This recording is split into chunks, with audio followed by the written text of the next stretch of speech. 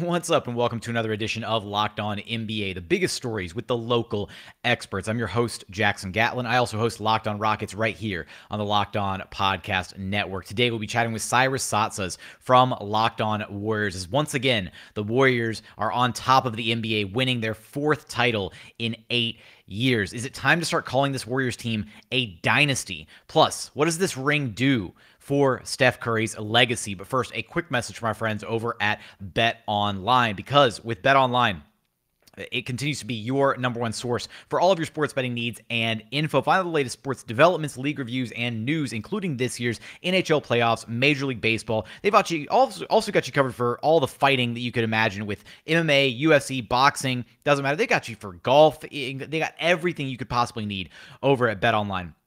They have you for all your sports wagering information, including live betting, esports, the NBA draft, and more. And speaking of the NBA draft, right now you can take a look at the odds over at Bet Online for who is going to go number one overall in this year's NBA draft. Right now, Jabari Smith Jr., the favorite, at minus 180, Chet Holmgren at plus 135, and then Paolo Banchero, a distant third, at plus 600. So, for all of that and more, head to their website today or use your mobile device to learn more about the trends and action available to you. Bet online, it's where the game starts. Joining us now is, of course, Cyrus Saatsaz from Locked On Warriors. You can follow on Twitter at Dog Surf Roadshow. We've got Cyrus on a mobile, thankfully, yeah. here to to celebrate the Warriors winning yet another title back on top of the NBA. Fourth title, eight years. Steph Curry finally gets his finals MVP. Cyrus, I'm just going to tee you up with one word here Dynasty?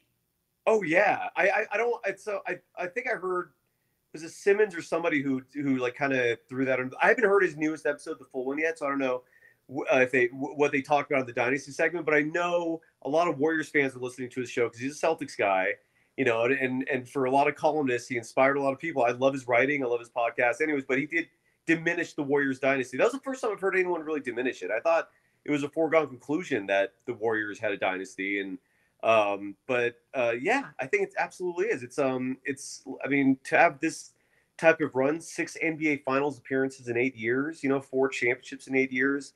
Um, like if this isn't a dynasty, I don't know what is. I mean, like you know, the the Jordan. I know the Jordan Bulls are clearly one, but uh, you know, it's they they equal each other in terms of the appearance number. I know Bull, the Jordan Bulls got two more titles, um, I wrote a whole column about this, like back when I in my writing days, uh, which I haven't done lately. But um, I, I, I, did a whole story on that the very definition of a dynasty and whether or not you know what qualifies and you know whether or not the Warriors can constitute themselves as a dynasty. And I absolutely do. I thought they were a dynasty just from that five year run, um, given just how it was arguably the most dominant five year run in NBA history, and just to add another title, I, I just don't know what would be a dynasty if it's not this, if that makes sense. So no, absolutely. And I think when, when you look at, you know, the, the more recent, the, the dynasties that are more recent for people, right? I think you have to look at probably everybody wants to, you know, point towards the MJ Bulls. There's a dynasty, but I also yeah. think you you take a look at the Shaq and Kobe era Lakers. That's another dynasty.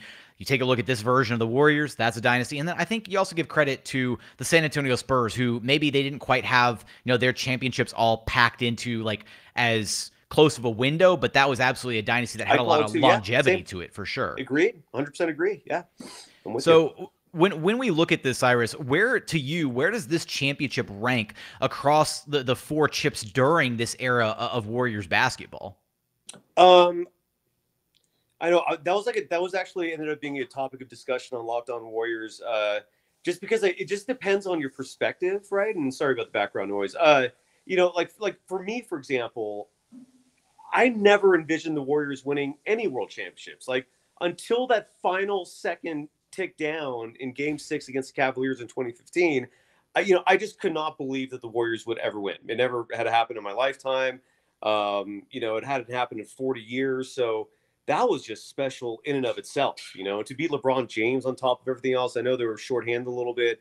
Um, but in terms of legacy, I don't think there's any doubt that this one – bears more weight and more significance and, and just has more cachet just because you know there were for some reason you know i you know i guess it, that also depends on perspective but a lot of people still had doubts about stephen curry's greatness about this warriors team's greatness there were a lot of holes that people could uh, poke in terms of uh, you know critique. Um, but I think this really silenced a lot of that. I, I especially that game four performance. Um, you know, because that was another topic of discussion was, you know, where does that game four rank among all the NBA finals, you know, greatest performances? It was, you know, and we determined it's it's top five. I mean, there's, you know, out like Jordan's 98 uh, shot in 98 to win the series, his final shot in the NBA finals. I think that's number one, that that overall game at that moment. But yeah, then there's just a lot of other ones that really kind of bear their own weight in terms of importance and um, yeah, I mean, we decided we, we determined that as a top five moment, and so it just gave a lot of gravity to this Warriors team and its argument for its placement among the all-time greats. You know, so I think the second championship is really special in that regard. I'm I'm lobbing in Hakeem Olajuwon's block on John Starks there you go. those moments. That's another. Yeah, that's another all-time great finals moment, yes. and I've got I've got a I've got a rep for Houston just a little bit in here because I, I, I, I have had nothing but quite a bit of usual, unusual, glowing praise for the Warriors as of late. So I need to at least you know I need to get back to my Houston Dude, roots just a little bit here. No, but. Was, um, with you especially and so you mentioned you know the, the word right there legacy right? And that gets thrown around a lot in nba circles and, and, it gets thrown around a lot when you're discussing a guy like steph curry. So to you cyrus what does this run this ring this finals mvp right? All of it. What does it mean for steph's legacy right? Where is he at right now as far as the the all-timers are concerned?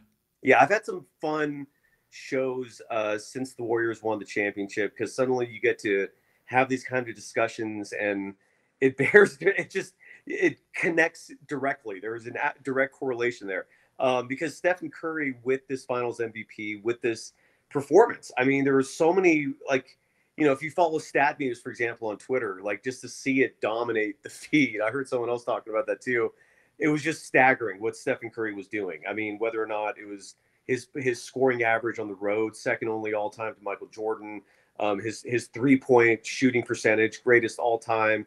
Uh, despite the 0 for 9 game, I mean, despite going 0 for 9, he still easily set the mark. I, it was just it was incredible. So I I have him in my top 10 now. I'll read off my top 10 to actually to you. Uh, I, I, this is going straight off memory. I hope I can get this right. Um, and I'll try to go, I guess, uh, 10 to 1. So I had Larry Bird at number 10. Um, and and I really think that's low for him, but it's just there's just so many great players. It's hard to you know do this. Uh, number nine, Tim Duncan. Um, I now have number eight, Stephen Curry. I did not have him in the top ten before. Okay. And with this performance, he pushed Shaq out. Um, so Shaquille O'Neal, I'm really sorry, but you're no longer uh, in the top ten. Number seven, Kobe Bryant. Uh, number six, Wilt Chamberlain. Number five, Bill Russell. Uh, this is going to piss a lot of people off, but I put LeBron James number four. Um, he has just not impressed me Ooh. enough in terms of mental toughness, and um, and I just have a hard time digging the fact that he just bounces around so much. He's, I mean, basketball's still a team sport, and I just this is just a personal thing, but for me, sticking with the team over the bulk of your career means something, and um, you know, anyway. So, and then number three, I, I flip flop with this. Number three, number two, Kareem and Magic Johnson and then Jordan number one. What do you think? I think that's a, I think that's a really solid top 10 and I think that especially cuz I'm right there where where you had Shaq as the one like on the cusp right of being, you know, in the top 10 and and Curry the one, you know, pushing him out. I think that's a fair list overall.